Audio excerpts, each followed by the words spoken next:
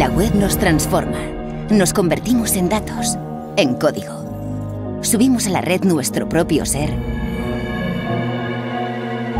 a un lugar al que llamamos la nube. Pero esta nube tiene un suelo físico, el hardware. Un caos de códigos en el cual, con las herramientas adecuadas, se puede encontrar una señal entre tanto ruido.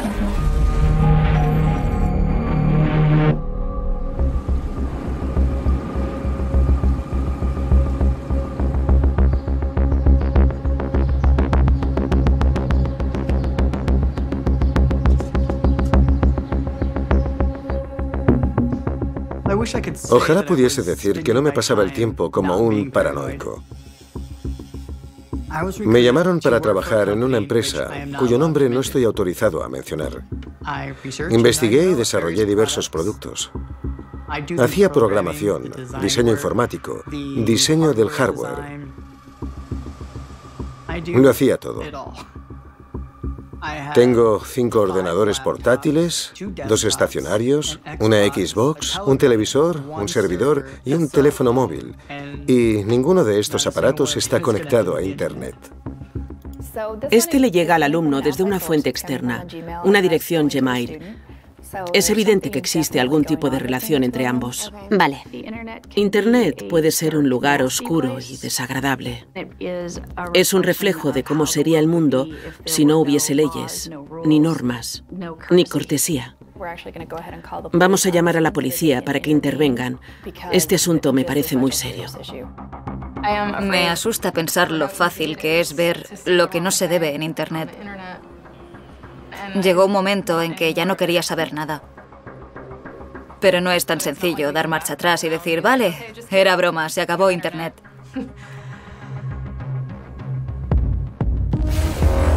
Al otro lado de nuestras pantallas existe una vasta frontera inexplorada, incontenida e incontenible.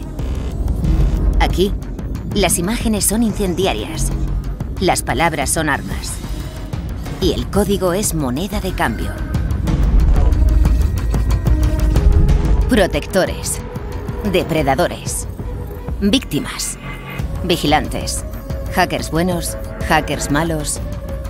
¿Quién es quién en la red? ¿Y quién tiene el control?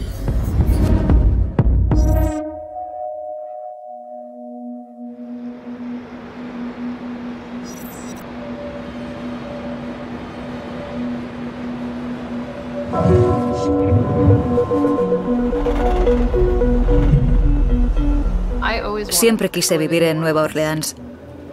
Me resulta un lugar muy agradable. Creo que lo único que he deseado durante mucho tiempo es ser feliz. Esta es Laila. Uno de los mayores navegadores de Internet la contrató como moderadora de contenidos.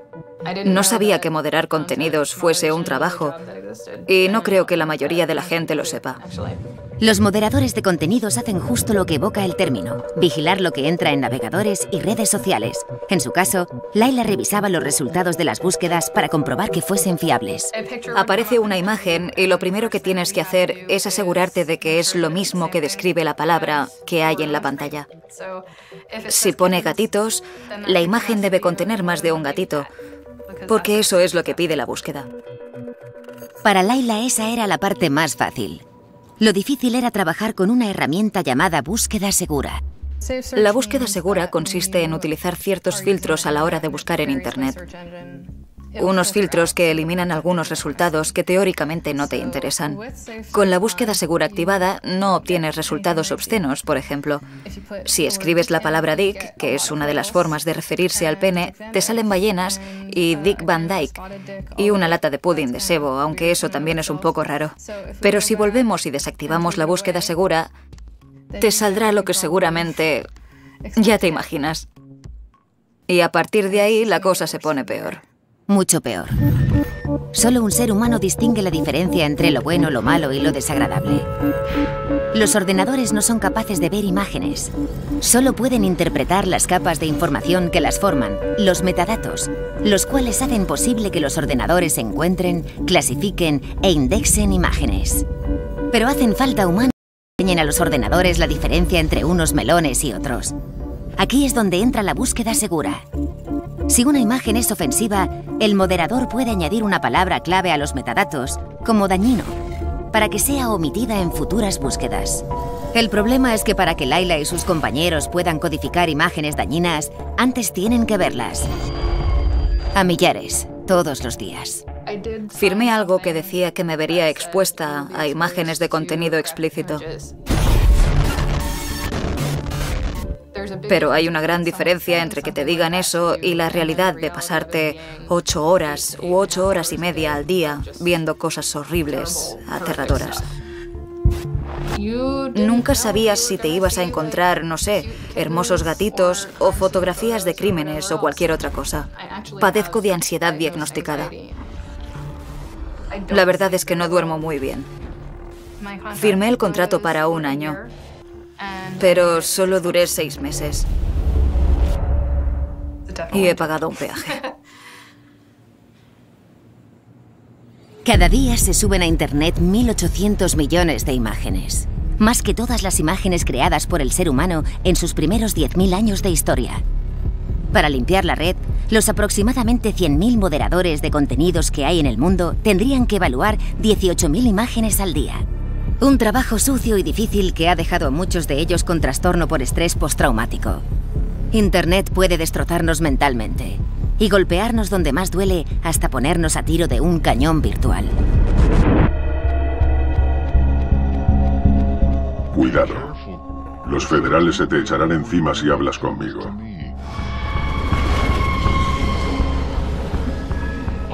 Me buscan por realizar múltiples ataques a gran escala. Ese es mi trabajo. Tengo varias herramientas privadas que algunos amigos y yo hemos codificado. Voy a utilizar un servidor para enviar dos millones de correos electrónicos fraudulentos. Es muy peligroso. ¿Quieres ver una demo? Este es un mensaje de texto a voz de Detox Ransom, el típico hacker sombrero negro, es decir, un pirata de los malos. Detox ha montado una tienda en la red oscura donde las direcciones IP son casi imposibles de rastrear, dentro de un foro llamado, como no, Red Criminal. Los piratas como él se enriquecen a costa de personas como tú y como yo. Imagínate que un día te sientas delante del ordenador. Lo arrancas y empiezas a hacer lo mismo que haces todos los días. De repente abres el correo y te encuentras un mensaje que lleva un fichero adjunto. Decides abrir el adjunto y esperas a que ocurra algo. William Gragido es experto en seguridad, un pirata de los buenos, también conocidos como hackers de sombrero blanco. Poco después te empiezan a aparecer mensajes en la pantalla que aseguran que el equipo se ha visto comprometido y tus datos, tus preciosos archivos y esas cosas que tanto quieres y son tan importantes acaban de ser encriptadas y se encuentran en poder de ransom. Acaban de infectar el ordenador con un virus llamado ransomware, un código malicioso que encripta tus archivos y retiene la llave hasta que pagas por obtenerla. Es un golpe eficaz que hace ganar a algunos cibercriminales hasta 80.000 dólares al mes. Ves las instrucciones para pagar el rescate, instrucciones que te llevan hasta páginas concretas donde se produce el intercambio en criptodivisa, un tipo de moneda que no puede rastrearse. Con el reloj en marcha y menos de 48 horas para convertir 500 dólares en bitcoins, una moneda virtual, te ves obligado a encontrar un cajero automático que convierta el dinero en criptodivisa. Y si el pago no se recibe a tiempo, el rescate se duplicará o tus archivos quedarán destruidos. Si eliges pagar el rescate, sigues el proceso de enviar los bitcoins al cibercriminal y luego esperas a que te llegue la llave que desencripte tus datos para poder recuperarlos. Pero que recuperes o no esos datos o archivos es bastante dudoso. No hay ninguna garantía. El año pasado, los cibercriminales como Detox causaron pérdidas por valor de 400.000 millones de dólares, pero es casi imposible pillarlos. Saben cómo hacerse totalmente invisibles en la red aunque en público son como cualquiera de nosotros. Como este hombre. Sabe cómo penetrar en cualquier sistema. Conoce los puntos débiles. Para él, Internet es un parque infantil inmenso. Y tiene los mejores juguetes. Aquí está la bestia malvada. Esta herramienta permite realizar los ataques más avanzados, ataques intermediarios con puntos de acceso maliciosos.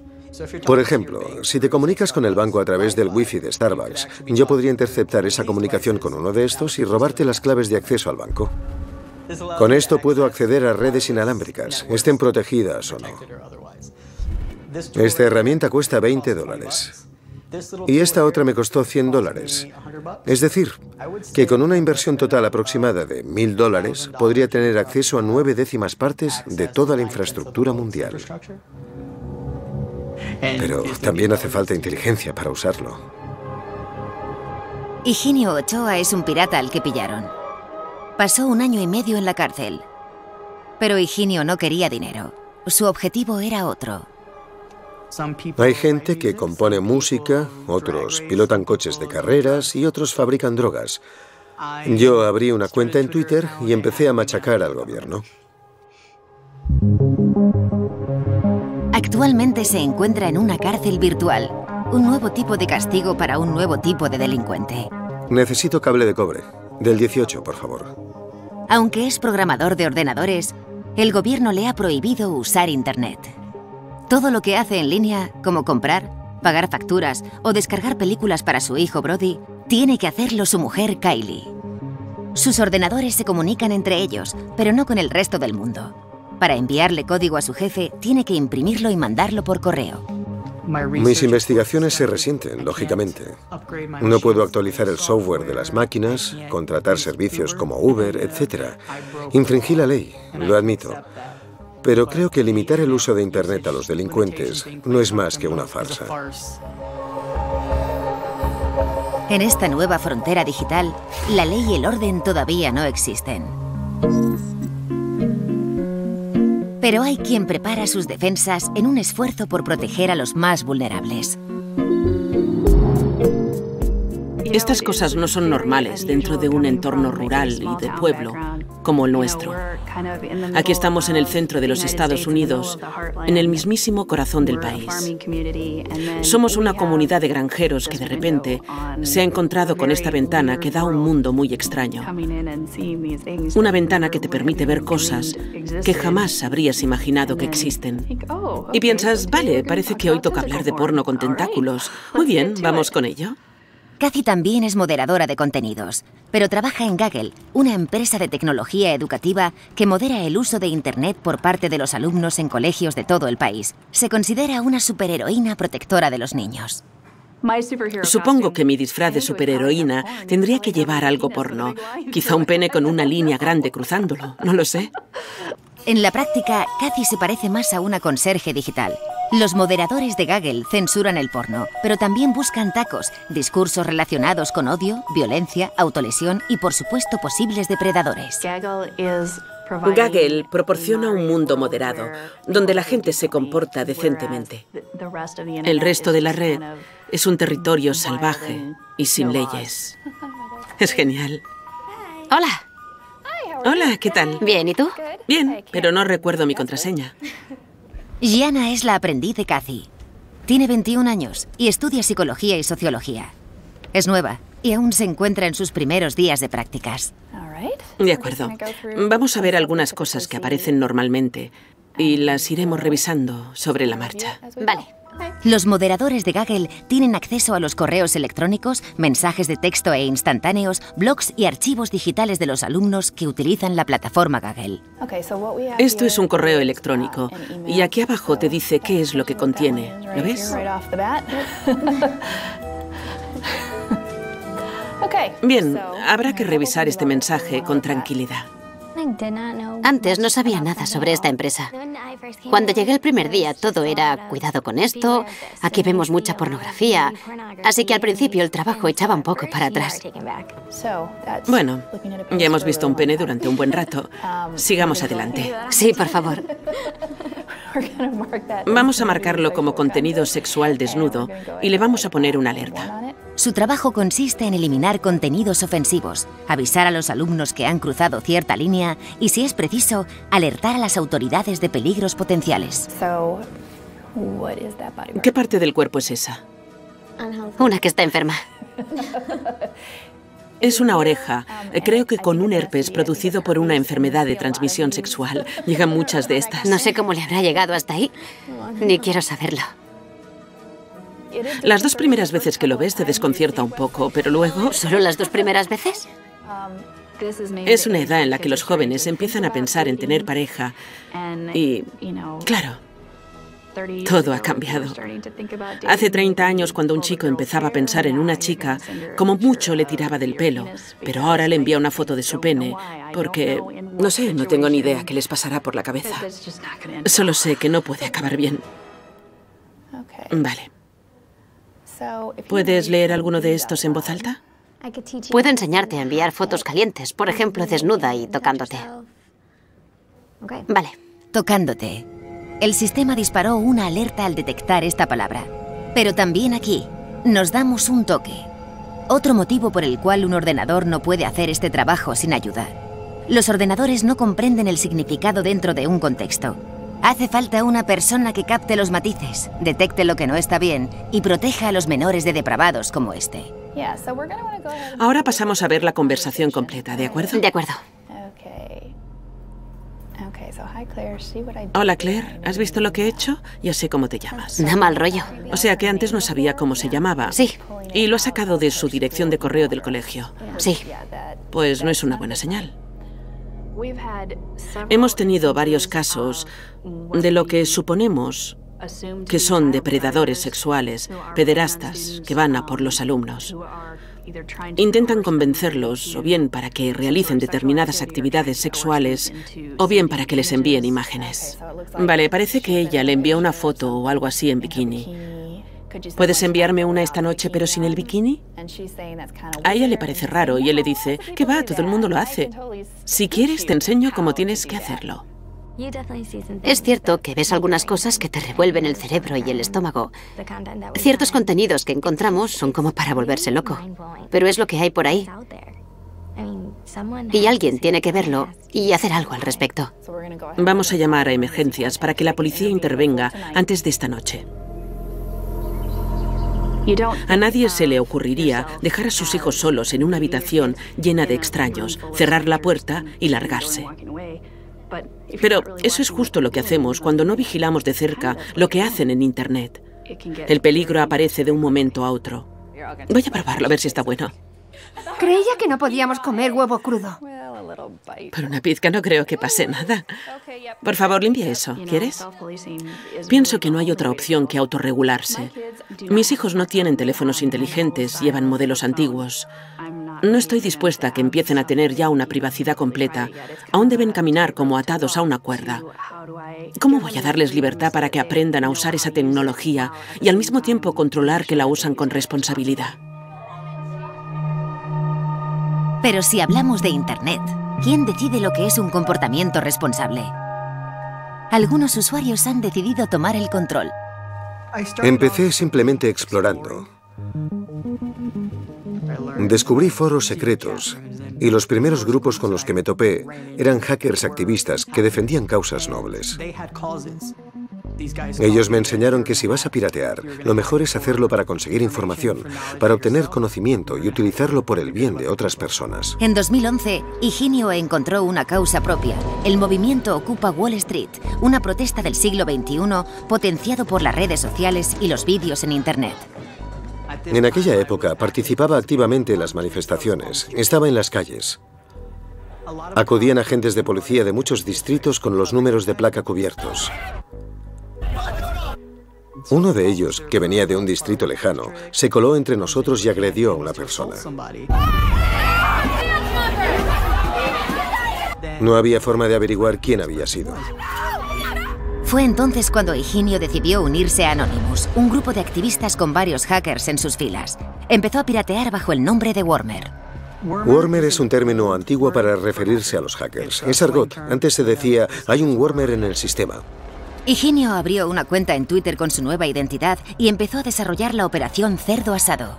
Entramos en muchos sitios web de la policía. Los sindicatos policiales eran objetivos y también cualquier sitio donde hubiese información personal sobre los agentes y sus números de placa. Luego hicieron pública aquella información confidencial. El alias de Higinio reclutó a cientos de miles de seguidores lanzando una media de 35 tweets diarios. Tweets que no solo incluían enlaces a información reservada, sino que también revelaban nombres de agentes, marca y modelo de sus coches, números de teléfono y direcciones. Aunque no pretendía que le hiciesen daño a nadie, sí que quería que sintieran el temor de saberse permanentemente vigilados.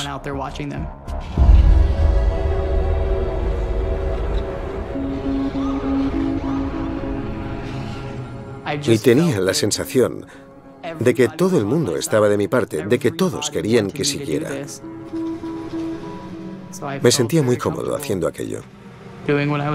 En febrero de 2011, Higinio cometió un error de novato. Junto con la información pirateada subió esta imagen, una especie de etiqueta cuyo objeto era mofarse del FBI y dejar claro que el autor del pirateo había sido Warmer. Pero Higinio olvidó eliminar los metadatos. La imagen contenía una etiqueta de geolocalización, una serie de coordenadas que revelaban el lugar exacto en el que se había tomado. ¿Le habría pasado fotos mías en bikini si llegó a saber que se dedicaba a piratear bases de datos de la policía y a colgar esas fotos mías en ellas? Seguramente no lo habría hecho. Pero tampoco lo lamento porque él me ha dado lo que más quiero en la vida. Higinio conoció a Kylie a través de Internet, por supuesto, en un foro. Empezamos a salir unos seis días después de conocernos en la red. Era un hombre muy amable. Dieciséis días después de conocerla, Higinio le pidió que se casara con él, también a través de la red. Y ella aceptó. La idea era que él viniese a Australia a ver cómo iba la relación, casarnos, quedarnos allí y que él dejara de ser ilegal. Pero la cosa no fue así. Colgué una fotografía que contenía las coordenadas GPS de la casa de Kylie. Cuando la encontraron, cuando descubrieron quién era, bueno, ya estábamos prometidos. Y como todo el mundo hace en América, lo habíamos anunciado a través de Facebook. Así que la encontraron en persona y gracias a Facebook descubrieron que su prometido en la vida real era yo, Higinio Ochoa. Gracias a esa fotografía de Kylie, consiguieron pillar a Higinio. En menos de un mes, ya estaba arrestado. Me trataron casi como si fuese un terrorista internacional. No me dejaron tocar ningún ordenador. No querían que me acercara a ningún aparato conectado a Internet. El 20 de marzo de 2012, tras haber enviado más de 1.500 tweets en un solo mes, la cuenta en Twitter de Warmer quedó en silencio. Acusaron a Higinio de acceder a ordenadores protegidos sin autorización. Y él se declaró culpable. Le sentenciaron a 27 meses de cárcel y 3 años de libertad vigilada. A los seis meses de ingresar en prisión, Kylie dio a luz a su hijo Brody. Estaba bien hasta que he entrado. Qué falso. Es el lloro más falso que he oído en toda mi vida. ¿Nos das un poco más de lloro falso? ¿Estás despierto? ¿Eh? ¿Ya estás despierto? Papi, déjame en paz. ¿Estás despierto? Mira qué pelos, qué desastre. Tras pasar un año y medio encerrado, soltaron a Higinio con la condición de que no se acercara a la red. Una obligación que el gobierno espera que Higinio se autoimponga. ¿Nos hacemos un selfie familiar? Sí, a mí también me asusta sacarle fotos a tu padre. Un, dos, tres, Luis. Vaya, tu madre está horrible. Creo firmemente que las leyes y los castigos previstos por ellas contra el pirateo informático son injustos. No creo que el gobierno de este país esté preparado para los piratas informáticos. No creo que el Departamento de Justicia esté preparado para acusarlos correctamente. Hay muchos que se dedican a controlar que no se cometan ciertos abusos, y estos son igualmente perseguidos y condenados por hacer algo que a mí me parece correcto. Sin embargo, no podrán evitarlo. Acabarán teniendo que aceptar que los piratas informáticos son una parte vital del ecosistema de la red y que siempre van a estar ahí.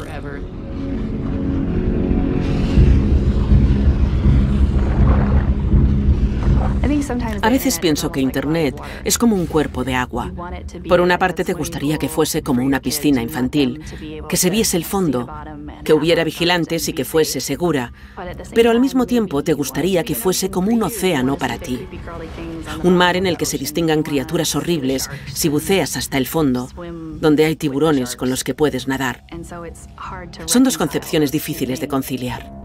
Con 3.000 millones de usuarios y cerca de 5.000 millones de dispositivos conectados a la red, esta nueva frontera crece más deprisa que nuestra capacidad de controlarla. No me imagino cómo habría sido mi vida si hubiese crecido como van a crecer mis sobrinos y sobrinas, con tanta información al alcance de un botón, con tantos rumores y cotilleos difundiéndose a través de mensajes de texto. Siento miedo por ellos. La perspectiva de los próximos cinco años ya me asusta. No te fíes demasiado. El mundo está en un estado de seguridad lamentable. No creo que la mayoría de gente comprenda el riesgo que corre en el mundo de hoy. Porque tanto si somos conscientes como si no, tendemos a publicar más datos sobre nosotros mismos de los que en realidad queremos que se conozcan. Y los datos equivalen a control. Los piratas y los depredadores existen y la línea defensiva tiene el grosor de una pantalla.